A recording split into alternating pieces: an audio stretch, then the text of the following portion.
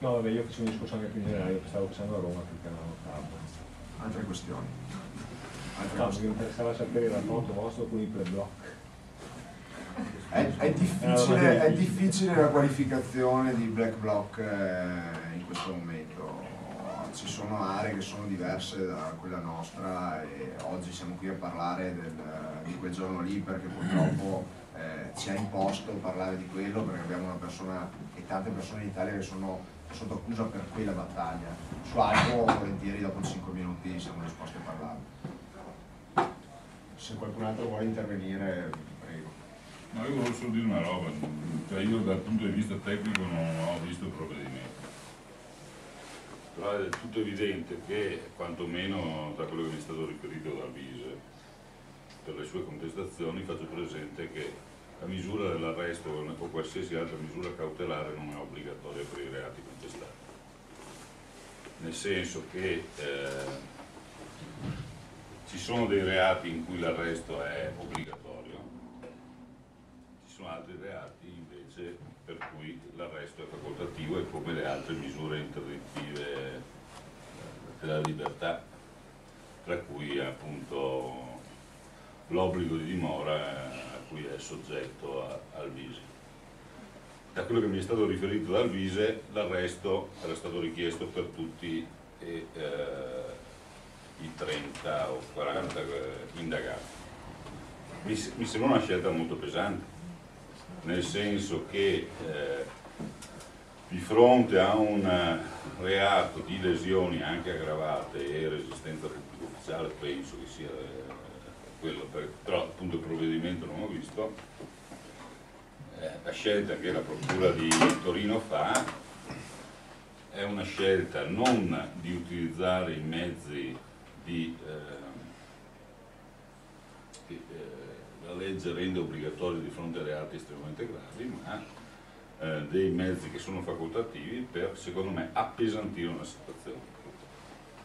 Cioè, questo secondo me va detto e secondo me dal punto di vista politico io mi sento di dire che è una scelta sbagliata. Eh, poi, appunto, Alvise come gli altri indagati è difeso dai suoi avvocati che saranno, sono assolutamente in grado di fare in maniera ottima il loro lavoro. Dal punto di vista politico mi pare un segnale grave, cioè, vorrei segnalare che eh, mentre i tempi dell'inchiesta sui fatti di Torino è di sei mesi, gli indagati per i fatti di Genova a cui io ero presente eh, nel 2001 si sono estinti tutti per prescrizione. Cioè, è, è del tutto evidente che le procure in qualche momento utilizzano tempi processuali molto diversi di fronte anche a fatti che abbiamo visto nei, nei video di Genova, di Napoli o di quant'altro, in cui sono successi, secondo me, delle vere e proprie limitazioni della democrazia in questo Paese. Dai racconti che mi sono stati fatti per quello che è avvenuto a, a Torino, io non ci sono andato perché ci doveva andare, non ci sono andato, anche lì ci sono stati dei momenti di limitazione, di sospensione della democrazia questa è un po' la questione. Poi, se, se tu mi dici, se a, a, a fronte di un'azione che si ritiene illecita ci possano essere anche degli atti di illegalità, io ti dico che una... Uh, un'azione di disobbedienza civile passa, come ci insegna anche Gandhi, per atti importanti di disobbedienza. I limiti vanno condivisi con chi fa la, eh, la lotta.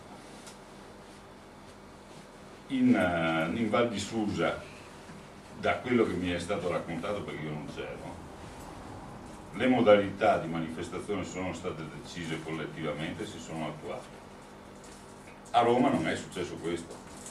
A, a, nella grande manifestazione che abbiamo fatto sui beni comuni in realtà ci sono state incursioni di persone che si sono inserite con loro percorsi, non dico che siano i fascisti rossi, queste eh, cose qua, i black bloc, eccetera, ma del tutto evidente che si sono inseriti in un percorso di una comunità che aveva scelto un altro percorso per fare delle cose diverse.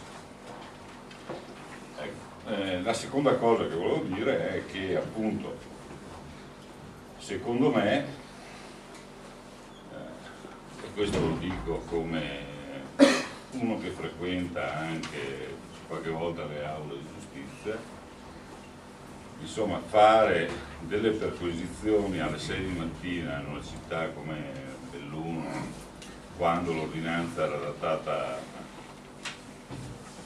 tre giorni prima, è del tutto evidente che ha un segnale giudiziario estremamente forte, eh, perché a mio avviso la stessa perquisizione si poteva fare alle 8 di sera in contemporanea tra eh, Bologna e, e, Belluno senza eh, disturbare de, delle persone. Cioè, ci siamo trovati di fronte a un atto estremamente forte di cui la Procura de, di Torino e le forze dell'ordine che l'hanno eseguito responsabilità, poi processualmente Alvise come gli altri imputati risponderanno ai fatti che gli sono contestati, devo rilevare che in 100 mi pare che a lui sia contestata la, uh, la, dice, la lesione a 130 persone, insomma, o è come Davide che riesce a centrarne uno al colpo, o mi sembra una roba un po', un po complicata, insomma, ecco. per cui appunto eh, le contestazioni sono di un certo tipo, me sembrano anche contraddittorie, però appunto dal punto di vista legale saranno i suoi legali che fanno la loro riflessione. Dal punto di vista politico secondo me c'è da sottolineare una sproporzione tra i reati contestati e le misure di limitazione della libertà che sono state poste in essere. Walter, tu vuoi aggiungere qualcosa? Sì, eh, mi pare che la ricostruzione degli episodi, dei fatti, nello specifico, è stata abbondantemente fatta. Eh, noi come Comitato Acqua Bene Comune vogliamo soltanto in questa situazione sottolineare eh, la grande partecipazione sempre costruttiva, propositiva di Alvise nelle nostre iniziative eh, con, con grande coerenza e con grande continuità e attenzione ai beni comuni del nostro territorio. E sicuramente rispetto a questo aspetto eh, penso che la strada migliore per, per rispondere sia quella del rinforzare la, la, fratellanza e relazioni calde tra, tra le persone eh, che sono l'antidoto più eh, importante rispetto a un, a un tentativo insomma, di creare divisioni, frammentazioni e isolamenti. E si pone un problema politico più complessivo a partire anche da questi episodi che è quello eh, del fatto che eh, non si dà più rispetto all'autodeterminazione delle comunità territoriali, alla difesa degli interessi complessivi delle comunità rispetto agli interessi invece speculativi che avvengono nel territorio. Allora di fronte a questa dissociazione è evidente che poi eh, esplodono delle contraddizioni eh, in tutta la, la rilevanza e in tutta la portata.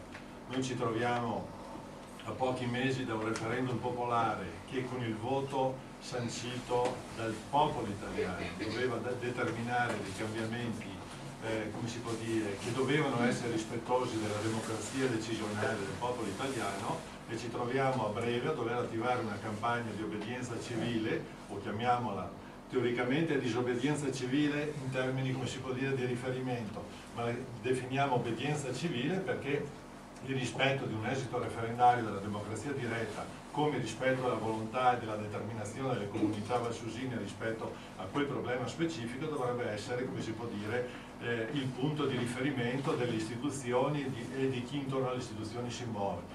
Evidentemente questo eh, elemento di rispetto alla volontà popolare della democrazia diretta sta venendo meno ed è evidente che rispetto a questo allora deve subentrare una capacità di sempre più forte coesione eh, cooperazione, reciprocità e fratellanza tra le comunità territoriali e questa è la sfida che eh, ci vedrà come protagonisti anche nel prossimo futuro e ovviamente sapendo di avere Alvise al fianco nostro e noi al fianco suo. Insomma.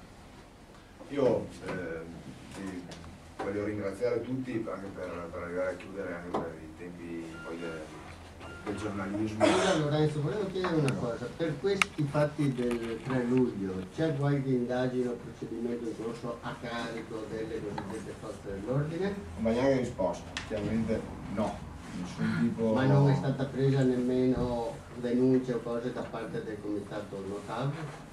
Sì, sono partite delle, per esempio Fabiano ha, sta provando adesso a denunciare chi, chi l'ha torturato, logicamente tra le forze dell'ordine c'è un'omertà fortissima, chi l'ha torturato ehm, era coperto da, da un passamontagna molte volte o dai caschi e dai fazzoletti che, che avevano addosso. Eh, queste cose qui sì si muoveranno ma dubito, dubitiamo purtroppo che si venga a capo di, dei nomi di chi ha commesso queste, queste atrocità, diciamo, perché torturare una persona è una cosa che trovo fuori da ogni... Una caserma. Sì. sì, poi in Italia nel 2011. Quindi sì, ci si sta muovendo anche da questo punto di vista, però i passi in avanti sono pochi, è difficile trovare risposte, soprattutto parte, se magari da parte della magistratura c'è una volontà di muoversi, non c'è una risposta da parte di quello che è polizia e di IGOS. Sì, sì, l'ho chiesto ben sapendo, abbiamo visto il fatto di Genova del 2001. Ma infatti, qualche eh, causa è stata fatta, ma... ma infatti ha una dimensione grande. Noi vorremmo chiudere dicendo una cosa, eh, eh, al di là della, della tensione poi eh, e, e del, della rabbia che c'è oggi e in questi giorni qua, eh, vogliamo soprattutto sottolineare invece i, i, fatti positivi e i segnali politici anche che devono arrivare da momenti come questi. E da momenti come quelli che sono stati svolti in tutta Italia, perché ricordiamo che da, da Napoli a Trento, passando per tutti i luoghi d'Italia, la solidarietà ad Alvise, nella persona di Alvise poi e a tutte le persone colpite da questo provvedimento è stata totale. Eh, non, non, stiamo qui a fare un elenco che sarebbe noioso e che non ha nessuna importanza, eh, andiamo a vedercelo su internet se, se, qualcuno ha curiosità di capire quanto è condivisa questo, questo momento. Tornando poi alla nostra comunità territoriale, mi sembra che la risposta eh, sia questa eh, siamo qui oggi non a piangere il morto e a, a fare una situazione di sfiga, ma anzi a dire eh, da oggi usciamo di qui con una comunità territoriale ancora più rinsaldata sulla eh, convinzione che le battaglie per i beni comuni e per la democrazia vanno eh, condivise fino alla fine. Anche in momenti come questi abbiamo deciso di aprire eh, questo spazio, è uno spazio di democrazia reale in cui condividere questo momento con tutti gli altri che sono venuti eh, qui oggi e che sono qui oggi. Eh, io vorrei chiudere eh, chiedendovi un, un atto di, di, solidarietà anche visiva nei confronti di Albi che comunque se la deve succare eh, anche perché fino a, a un'ora fa gli avevano anche imposto eh, una limitazione personale dalle 21 alle 6 di mattina totalmente al di fuori delle loro possibilità, la Digos di Belluno di cui veramente rendiamo sempre grazie al lavoro ottimo che stanno svolgendo. Vuoi dire? Sì, voglio dire che oggi eh, ci siamo visti appena uscito dall'incontro che gli era stato imposto per mezzogiorno di oggi all'ufficio della Digos del Comune di Belluno e eh, nel primo provvedimento, perché l'ho letto con i miei occhi, che è ancora in atto, ancora in atto fino a prova contraria, c'era un'imposizione eh, della limitazione della libertà personale, oltre che quella dell'obbligo di dimora, cioè di rimanere all'interno del comune, il divieto di lasciare casa sua dalle 21 alle 6 di mattina eh, in pratica. Sì, è un'alternativa una un, un provvedimento totalmente fuori dalle loro possibilità. Nel pomeriggio c'è stata una, una serie di telefonate con gli avvocati di Bologna e si è verificato per l'ennesima volta un, un, uso strumentale di quella che è la giustizia. Non è la prima volta che la Digo di Belluno si deborda e va anche fuori provincia. Ma infatti, infatti eh, io farei veramente i complimenti, visto che adesso c'è stata una telefonata in cui sembrerebbe che questo dispositivo venga messo totalmente in discussione perché non è possibile. Farei un complimento sentito anche personale al dottor Fogarella e al dottor Faccin per l'ottimo lavoro che stanno facendo, eh, perché se l'invito al fatto che se vogliono fare politica lo facciano come noi, mettendoci la faccia, mettendoci le idee e anche spendendosi. Detto questo, chiuderei con un applauso. Scusa, scusa, Prego, cosa. prego. Prima del- eh, hai detto che è ancora in atto questo provvedimento? Eh, sì, no. momento? Cioè tu alle 9 devi essere a casa? Se non sei In in teoria sì, eh, dovrei, il mio avvocato ha chiamato l'ufficio perché a lui questa cosa non risultava, adesso bisogna capire, eh, adesso sto aspettando un telefonato. Cioè questo è un provvedimento eh, messo Questo è un dalla Digos di Belluno, che non era nel provvedimento diciamo messo dalla Il mio procura. avvocato era, era- non era a conoscenza di queste cose, infatti è rimasto anche lui un po' sì, allibito e ha detto adesso sentirò, adesso sto aspettando la, fo- la telefonata, in teoria dovrebbero toglierlo.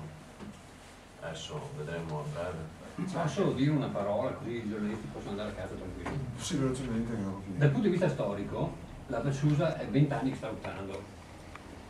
Dal punto di vista storico, stiamo ripercorrendo circa 50 anni dopo gli stessi passi del Comitato per la difesa della Vallertana nel 57 denunciato da Pina Merlini.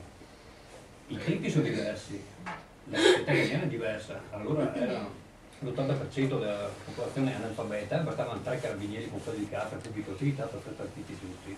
Oggi nel tempo di iPod, iPad, internet, eccetera, ci vogliono 4.000 poliziotti, lacrimogeni e maroni di mezzo. Ma sono gli stessi passi, era tutto scritto allora, oggi basterebbe saper leggere. E non è la prima volta, sottolineo, a livello personale, che la Digos di Belluno traborda, va oltre i suoi compiti di istituto e si spinge anche fuori provincia, fa delle illegalità palmare per fare sta zitta per intimidire la gente. E io trovo che eh, Alvise, oggi, con i dovuti distinguo, eccetera, eccetera, rappresenta quello che ha rappresentato all'epoca Lorenzo Rizzato, uno studente di Padova, che ha sottratto per temporaneamente per due giorni i lucidi delle prove dei ghetti, della- dimostrando che la Sade sapeva ci ha rimesso la carriera, ci ha rimesso la laurea, oggi dirige un teatro alternativo, ma trovo moltissime assonanze. Cambiano i nomi, cambiano i tempi, cambiano i colori, ma i fatti sono sempre quelli. La Valsusa sono vent'anni che stanno combattendo, hanno ragione, e io, io sono Tiziano Alfarra, ricercatore, oggi pregiudicato per diffamazione ovviamente, ma poi più tardi ci arriviamo. Ma non è il mio caso che ha importanza. Io trovo tantissime assonanze e posso fare conferenze, li guaio, su quello che è successo a Baionte e quello che sta succedendo adesso. Un'opera assurda che ha contro tutta la valle, ripeto da 20 anni, non da ieri, è una roba scandalosa, può succedere solo in Italia, ma succede in Italia perché le leggi vigenti risalgono al codice fascista, reimplementato da un giovane giurista che si chiamava Giovanni Leone, non a caso più volte Presidente del Consiglio, non a caso al Vajont, non a caso il Presidente della Repubblica, e non a caso l'unico Presidente della Repubblica ha dovuto fare valise e andarsene via dall'ignominia che ha fatto. Ma questo serve per i giornalisti, anche possono andare, poi magari più tardi. Detto questo, chiuderei. L'Italia migliore è rappresentata oggi dalla Valsusa e l'onore dell'Italia residua sta sulle spalle di quella gente e sulle spalle di di Alvise, che per chiederei un applauso.